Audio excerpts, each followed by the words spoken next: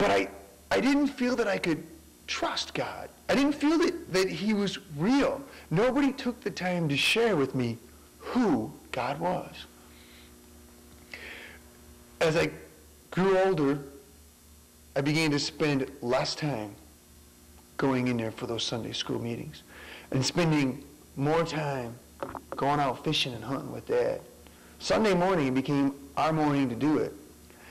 Sunday morning, if we weren't in the woods, it meant let's get up and watch Harold Lloyd reruns on TV.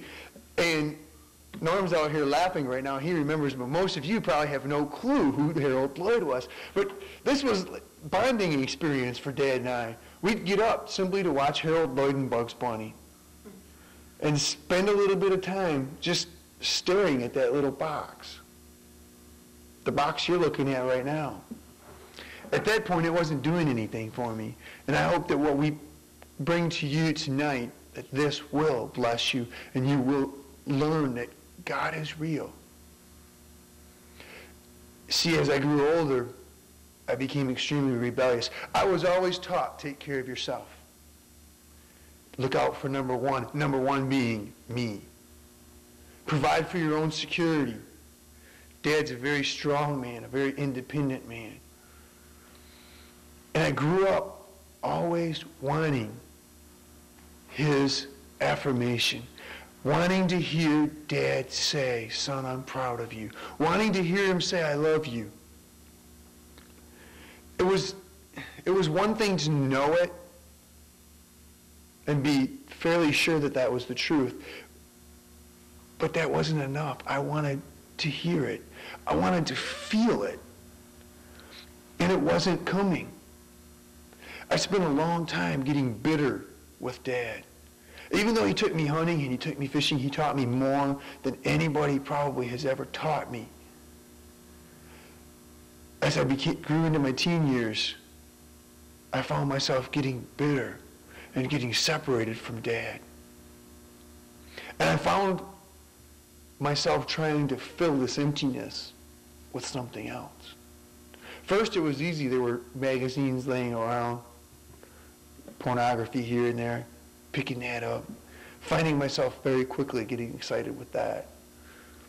Then, probably around the age of 14, finding alcohol. What a release. I can remember laying in a hospital bed. My sophomore year in high school, I was 15 years old. Homecoming was the night before. And I remember waking up in that hospital bed the next morning, not having a clue how I got there. Calling a friend up when I got home and having that friend go, because he'd been told that I wasn't breathing and he thought I was dead. I remember seeing the fear in mom of what was happening. And I can remember dad talking to me about it and saying, son, you got to quit. Because if you don't quit, it's going to lead to worse. You're going to go into marijuana, and from there you're going to go into, and I looked at him and said, Dad, I'm not stupid. I'm not going to smoke dope. And I didn't hear a really good reason to quit.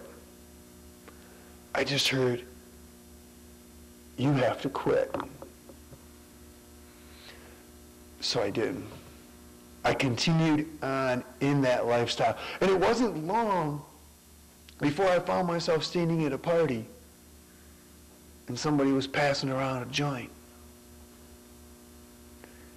And the guys were saying, here, try this. And at first, I was, oh, well, nah, I think I'll pass this time. But when it came around again, it was kind of like, well, maybe I can take this and fake it. So I tried to pull a Bill Clinton. I'm going to just, I'll just take it in, but I won't inhale it. Well, my friends weren't going to have any part of that. So as I sucked it in, somebody just happened to haul off and hit me in the chest, and I just filled my lungs with it. From that point on, man, that was what I wanted.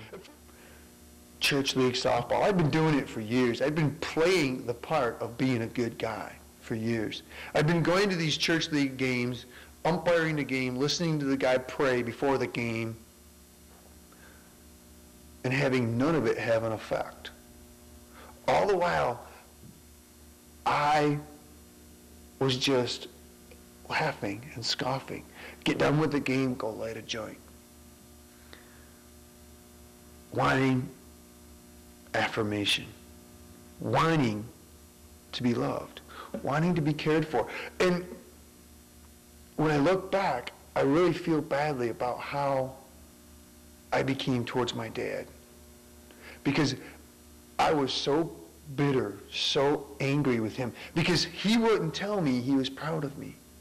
I could remember overhearing him back in high school telling the guys down at work the great game that his son played, the report card that his son brought home.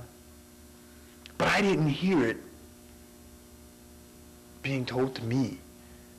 I can remember screaming at my mother when we were arguing about him. Why can't he just say it once to me? That was all I wanted. And it was just consuming me. But like I said, there wasn't just the drugs. It was all three of them together. It was drugs, sex, and alcohol. They ruled. So, and I I started to listen to him. And he stood up and he didn't give a salvation message. See, I'd been through a lot of salvation messages again in that year since coming to know Christ as my Savior. This gentleman, though, got up and he began to give a message on lordship. And he asked the question, is Jesus Christ your Lord? And before I could even say, well, of course, he said, no, I don't mean, is he your Savior? Is he your Lord? And as he's talking, he seems to be looking me in the eyes. And he says, have you given him every part of your life? Does he have everything? And I was kind of like, well, who are you? And he looked down there, and this room was full He could have been looking at anybody. But he kind of zeroed in on me and he said, have you given him your lust? What about those, those magazines that you've got hidden? What about the books you like to read? What about the sex you don't want to let go of? And I was thinking, man, this dude's getting a little bit too close. You know, who tipped you off?